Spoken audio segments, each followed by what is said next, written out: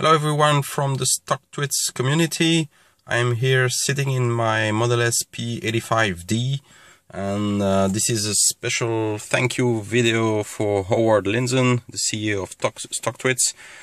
I'm now checking for the first time my Stock StockTwits news feed on my uh, home screen screen here on the Model S and this is just looking awesome let's check out I should find my tweet I posted earlier.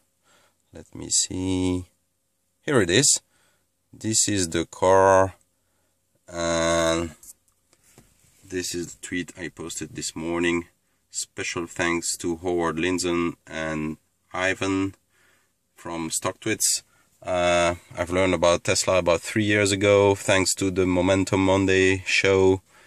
And I just wanted to do a quick heads up and thank you video to the StockTwits community. Um, thanks a lot, simply. Goodbye, see you soon.